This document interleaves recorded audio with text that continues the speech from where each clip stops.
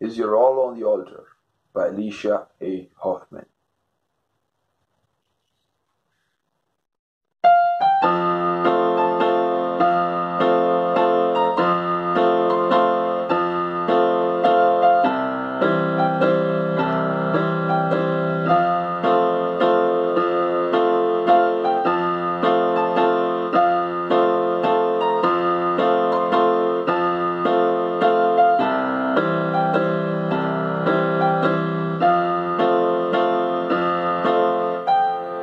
Thank you.